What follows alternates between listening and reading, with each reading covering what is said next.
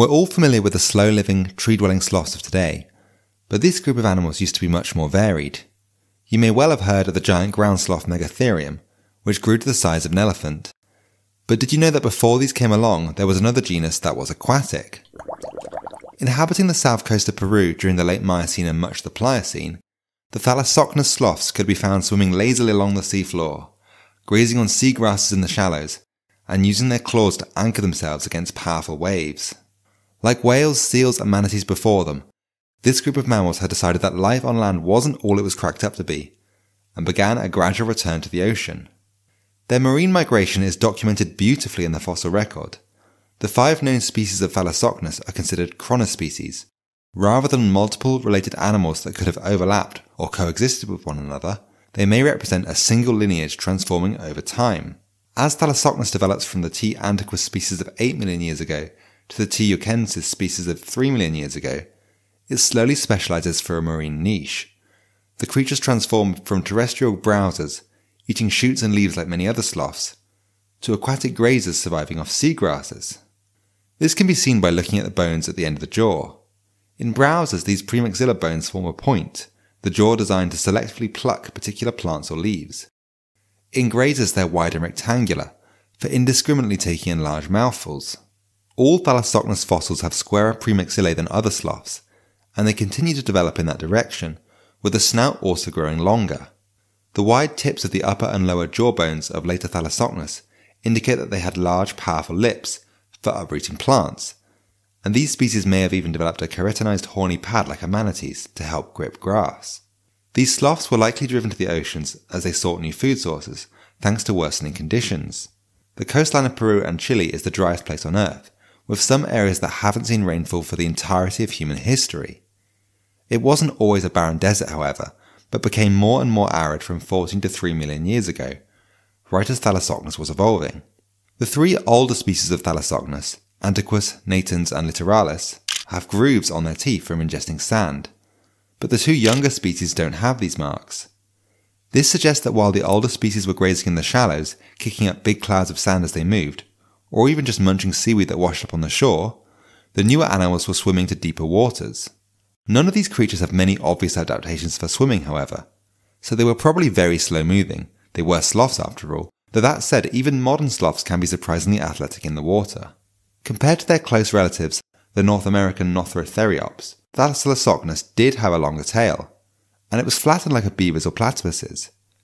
Just like these animals, they may have used their tails to maintain their balance in the water, or to help when diving. Thalassocnus also developed one other feature useful for an aquatic mammal incredibly dense bones. While T. antiquus had the regular bones of a landlubber, over millions of years these thickened, and the internal cavities filled with bone marrow all but disappeared, especially in the limbs of later species. Like a ship's ballast, this would have helped the sea sloth stay upright in the water, as well as counteracting the air pockets of the lungs to achieve negative buoyancy. Today, only manatees have bones as dense as Thalassocnus, and only platypuses have limbs with a similar degree of compactness. Both are animals that spend long periods feeding on sea or river beds. In fact, Thalassocnus had such heavy bones that they were probably able to simply walk along the ocean floor. The sharp clawed, dexterous hands of sloths are unique compared to other mammals that have made the transition from land to sea, so it's interesting to consider how they might have used them. They likely helped the sloths dig up seagrass rhizomes and may have served as miniature anchors, providing stability while feeding during strong waves. They may also have been handy while clinging to or clambering up rocks. Marine iguanas have longer claws than their land dwelling relatives, for exactly this sort of rock climbing. We do have evidence that Thalassocnus was very dependent on its forelimbs. Some remains have been found with signs that a back leg had broken and then healed, perhaps as the animals were thrown against rocks or cliffs. With their clawed front limbs still functional, they may have been able to pull themselves to safety, but there are no remains with similar arm breaks, which suggests damaging an arm meant almost certain death. As well as the elements, other dangers for Thalassocnus likely came from the predators that roamed the Miocene waters off the Peruvian coast. These include numerous sharks, crocodiles, and predatory whales like the Macroraptorial Acrophyseter. Though we don't have any specific evidence of predation, the sloth's large size and slow movements would surely have made them attractive targets. Unless they were somehow fighting off sharks with their claws, Thalassocnus' best form of defense would probably have been moving to shallow waters, where many predators couldn't reach them, But that wouldn't have been much help if seals like Hadrokirus also decided to have a nibble. The five known Thalassocnus species are similar in size to the land-based Nothrotheriids in the same family. The early Pliocene T. littoralis is the smallest at 2.1 meters, and the youngest species T. yaucensis is the largest at 3.1 meters. However, a wide variety of sizes in the fossils of individual species has led scientists to suggest Thalassocnus could have exhibited sexual dimorphism, with the males being significantly larger than the females. This is often a trait associated with polygyny, particularly when males compete fiercely for harems of females.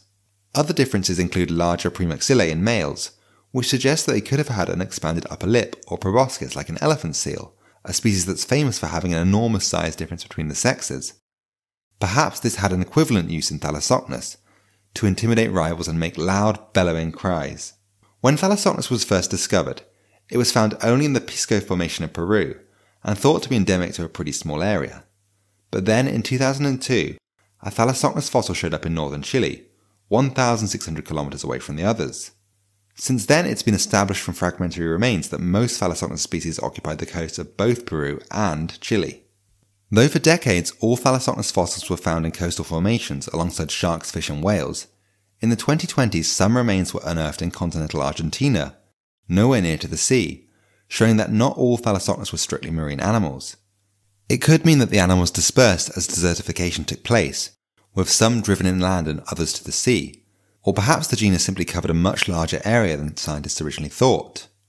In their gradual adaptation for the ocean, Thalassocnus mirrors the early stages of other mammal groups like the cetaceans, which began as wolf-like creatures and slowly developed the body plans they have today. It's wrong to suggest an animal is evolving towards any end goal, that's not how natural selection works. But given how these sloths progressed in an increasingly nautical direction, it's hard not to imagine what they might look like if they had survived to this day. Could the marine sloths have lost their fur to become more streamlined and develop more aquatic traits like a paddle like tail? Would they have ever given up on coming to land altogether and, freed from many of the constraints of gravity, grown to enormous sizes? Instead of the whales, which are all predators, it's actually manatees that provide the best modern comparison for Thalassocnus. They have the same herbivorous seagrass diet, similar bottom feeding behavior, and by the time of T. yaucensis, already shared many of the same adaptations. Given another 10 million years, would convergent evolution have seen these sloths grow to resemble manatees more than their terrestrial cousins? Sadly, it was not to be. About 2 million years ago, Central America joined up with South America in Panama. This closed off the Central American Seaway, cutting off warm ocean currents from the Caribbean. The resulting drop in temperature would have devastated the seagrass that was the Thalassocnus' main food source. Even if the plants could withstand the cold, the animals themselves may have struggled to survive in the colder waters without developing a layer of blubber, which would then have made them more buoyant and interfered with their feeding methods on the ocean floor. Unable to adapt to the quickly changing conditions, the sea sloths went extinct. The name Thalassocnus comes from the Greek thalassa, meaning ocean, and ocnus, a mythological character representing hesitation or the wasting of time. Perhaps Thalassocnus was just wasting its time in the ocean, progressing down a path that would ultimately lead to a dead end. But nothing lasts forever. If we're all just whiling away time until our eventual extinction, I can think of worse ways to spend it than splashing about in a subtropical sea. Thank you for watching this video. If you enjoyed it, please consider becoming a subscriber so you'll see more like it in the future.